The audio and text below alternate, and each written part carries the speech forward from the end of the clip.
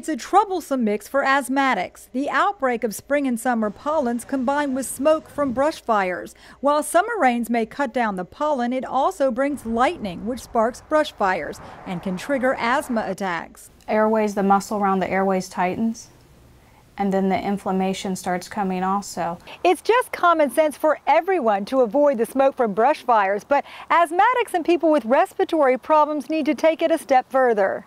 And most asthmatics, what'll bother them is things you don't see.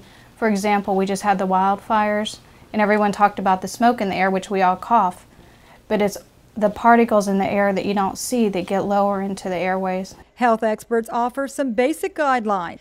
First, stay indoors as much as possible. And when it comes to filtering the air, choose a HEPA mask or HEPA air filter, which can sift out the tiny particles regular dust masks can't.